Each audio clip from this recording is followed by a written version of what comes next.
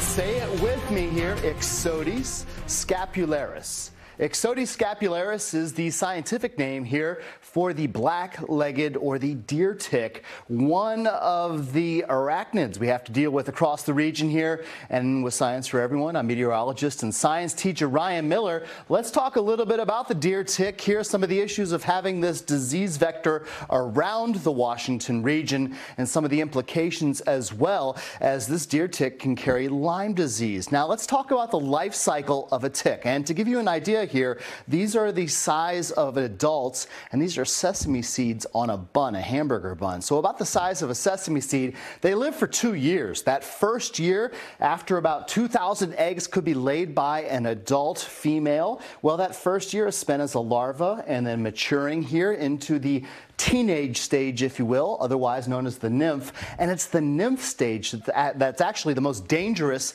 and the easiest to transmit the disease to humans here because they're so tiny, about the size of a poppy seed. But then after that first year, then they continue to mature into an adult. That's when they will reproduce and then ultimately here lay more eggs and continue the process. So where we find Lyme disease is where we find deer. Well, just follow the trail here. And what I did is I went and looked at the report reports from ticks using an app, a citizen science app called iNaturalist. And these are the locations by county in the DMV where deer ticks have been reported and verified. The darker the colors, well, there's more reports here of deer ticks and more incidents of Lyme disease, coincidentally, here. And that includes Westmoreland County in the northern neck of Virginia and then across here. And really, there's no big surprise. These are locations with heavier amounts of forest and open space and ultimately allows for more habitat for deer. And then that is where we're seeing more and more incidents here of deer ticks and then ultimately Lyme disease. Now let's talk a little bit about Lyme disease here. Adult ticks, they're most active in the spring and the fall, and it's the nymphs that are active during the summertime that are the most dangerous just because they're the smallest and hard to detect. They carry a bacteria, that's what causes Lyme disease here.